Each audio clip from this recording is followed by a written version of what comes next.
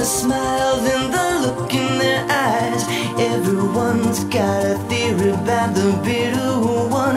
They're saying, Mom never loved her much, and Dad never keeps in touch. That's why she shies away from human affection. But somewhere in a private place, she packs a bag for outer space. And now she's waiting for the right kind of pilot to come.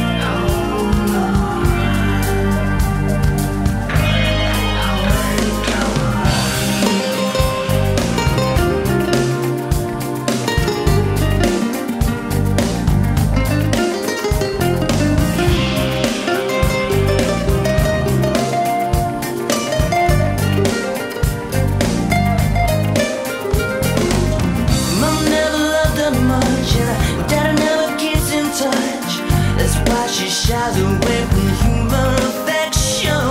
But somewhere in a private place, she packs a bag from outer space. And now she's waiting.